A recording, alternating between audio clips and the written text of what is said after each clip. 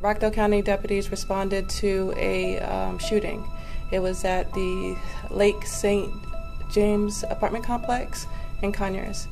Um, uh, upon deputies' arrival, um, they observed the male, black male, lying on the ground suffering from a gunshot wound.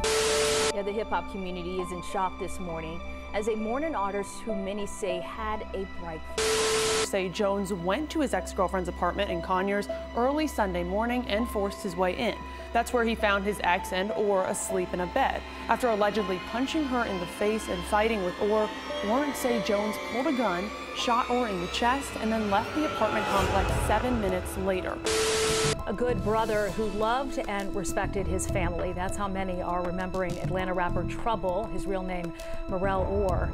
Family, friends, and fans gathering today to say a final goodbye. I ain't get to tell my boy thank you.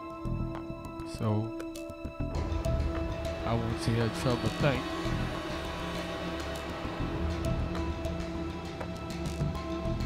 you. He always supported me. Rockdale deputies hauled Jamichael Jones to jail. The 33-year-old Atlanta man is accused of killing rapper Trouble, whose real name was Mariel Orr.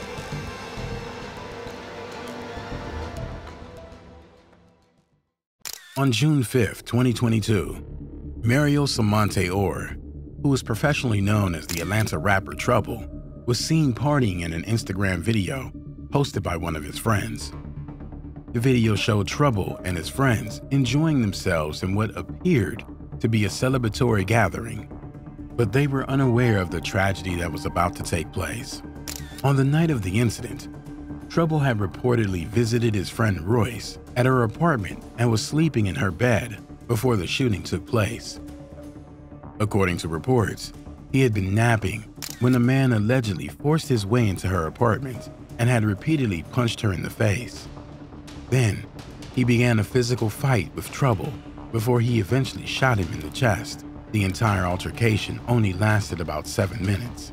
They say the man charged with murder, Jamichael Jones, and his girlfriend of three years broke up about a week ago. The woman told deputies that she and Jones previously lived together, but that he left after she says he hit her during an argument.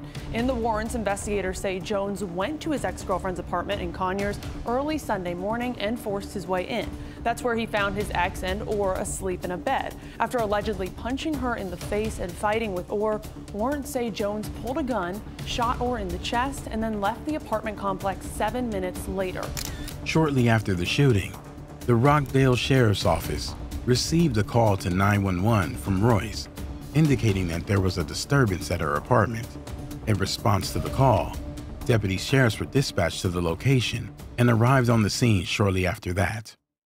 Upon arrival, the deputies found Rissa at her apartment with visible injuries on her face, which suggested that she had been struck multiple times. The injuries were consistent with physical assault. The deputies also found a neighbor performing cardiopulmonary resuscitation, CPR, on Trouble as he was lying on the floor of the apartment with a gunshot wound to his chest. The deputies took charge of the situation and ensured that it remained under their control while waiting for the paramedic team. When the paramedics arrived, they took him to the Rockdale County Piedmont Hospital, where he was supposed to be treated. Unfortunately, despite their best efforts, trouble had already passed, as he had suffered a very fatal injury to the chest and had lost a large amount of blood. The resuscitation team of the hospital were left with no chance of saving him. Not too long after, 33-year-old Jamichael Jones was identified as the one responsible for the incident. He was also a rapper, like Trouble, and was Royce's ex-boyfriend. Jones allegedly entered the apartment with two other unidentified suspects, and an altercation broke out, which ultimately led to Trouble being shot.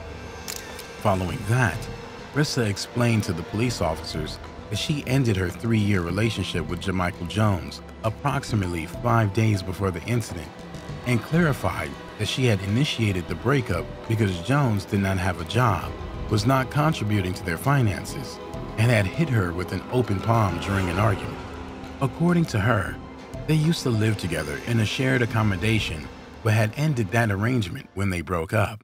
She alleged the day they broke up, was the last time she saw her ex boyfriend before the night he broke into the house to find her and Trouble sleeping in bed together. However, some sources say that RZA had reportedly told Jones that she was out of town and that he could come and pick up his stuff before she returned from her trip. Following that, Royce also made a post on social media saying that she didn't have anything to prove to anybody and that she had a heart of gold. She also said that the incident affected her mental health due to the trauma that she suffered. On June 7, 2022, the Rockdale County Sheriff's Office made public a report that Jamichael Jones had been taken into custody by law enforcement in Clayton County around 1 a.m. that morning. However, unlike previous reports, it was revealed that Jones did not put up any resistance and turned himself in to the authorities. This was very unusual because Jones had been on the run since the time of the incident, and police deputies were on the lookout for him. They had paid visits to the places where Jones was reported to frequently visit with the hopes of finding and apprehending him. But that had been to no avail, as Jones had no intentions of visiting those places. However, reports indicate that Jones was persuaded to surrender by his mother, who had placed the call through to him when police deputies have visited her. His mother was a huge resource in, in helping us um, apprehend him. The deputies permitted Jones to pick a time and place for his arrest, and he chose to be arrested in the early hours of the morning at a hospital in Clayton County. Well, deputies, they're really crediting Jamichael Jones's mother for the successful arrest of the man accused of Atlanta rapper Trouble. Now take a look at your screen. This is video. We had a crew there the moment after Jamichael Jones was taken into custody by Rockdale authorities. Now we do know that he was taken into custody and arrested at a hospital, which was a location that deputies allow that deputies allowed Jamichael Jones to select. The sheriff's deputies they say that his mother allowed them to talk to Jamichael Jones on the phone, and that's when they were able to convince the suspect to turn himself in. Just as planned, Jones showed up at the hospital early on Tuesday, the 7th of June, 2022, in a green hoodie that he wore over his head. He was successfully apprehended without any incident and appeared in court where he was charged for the hit and other charges like aggravated assault, battery, and home invasion in the first degree. During his trial, Jamichael Jones turned down the opportunity to read his warrants and was denied bond on the basis of threat to witnesses. In addition to that, he was mandated to pay a bond of 10000 for his battery charge after the judge confirmed that he was not on probation. All of your charges are felonies except for the battery felony violence, which is misdemeanor. Would you like your warrants read?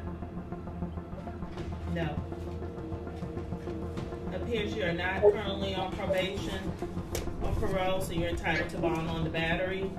The bond will be set in amount of $10,000. At the time of his passing in 2022, Trouble had an estimated net worth of 2 million, which he had amassed through various endorsement deals and record sales. His annual income was reported to be 200,000, a testament to his success in the industry. The musician was also known by other nicknames, including Scoob, Trouble DTE, and Big Trouble, which were a testament to his larger than life personality. He was a highly influential musician in Atlanta and beyond, and had collaborated with some of the biggest names in the music industry, including Drake, The Weeknd, Young Thug, Gucci Mane, and 2 Chainz. This gained him a significant amount of recognition and praise. Thankfully, Trouble left a legacy before he passed and has left behind his two kids, mother, brother, aunt, as well as other family members and friends who loved and respected him. When he passed in 2022, they paid their last respects to him in a moving tribute. Many fans also mourned his loss, taking to social media to express their sadness and shared their memories of the musician.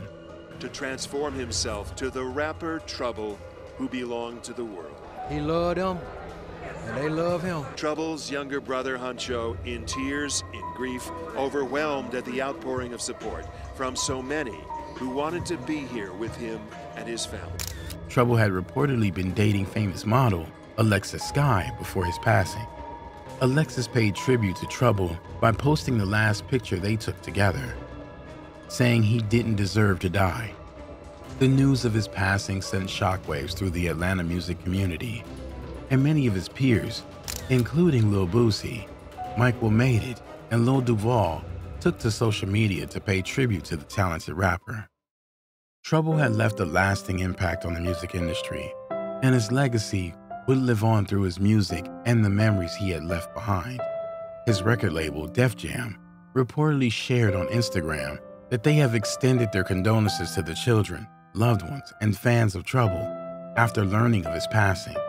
They stated that he was a genuine advocate for his town and a source of motivation for the neighborhood that he so passionately represented.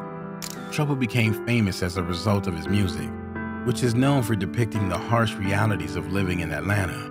He rose to prominence at the age of 14, thanks to the success of his track, Come Through, Ain't My Fault, and Bring It Back.